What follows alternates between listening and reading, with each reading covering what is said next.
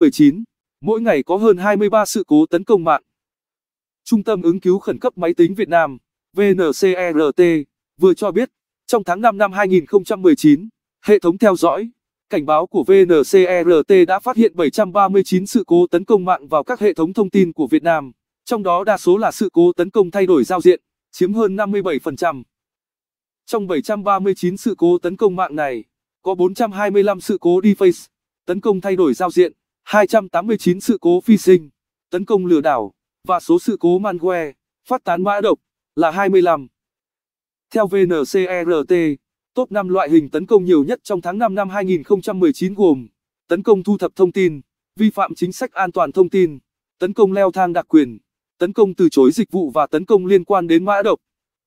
Tháng qua, trung tâm này cũng thực hiện nhiều lượt cảnh báo, yêu cầu xử lý sự cố và hỗ trợ xử lý sự cố cho các cơ quan, đơn vị trong hệ thống hành chính nhà nước, như phát hiện và gửi 28 email cảnh báo yêu cầu đơn vị xử lý sự cố còn tồn tại và hỗ trợ xử lý sự cố cho các đơn vị có yêu cầu, gửi công văn cảnh báo trực tiếp đến 3 đơn vị thuộc cơ quan nhà nước bị nhiễm mã độc deface.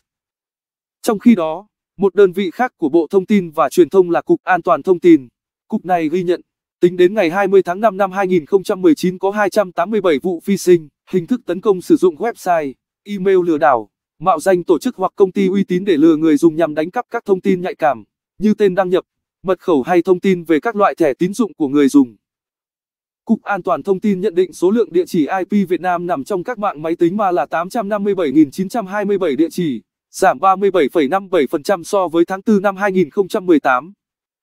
Với số lượng địa chỉ nằm trong các mạng máy tính ma này, các máy tính kết nối với Internet bị xâm nhập bởi các hacker, virus, phần mềm trojan và bị hacker điều khiển từ xa, sử dụng vào những mục đích nguy hiểm khác nhau.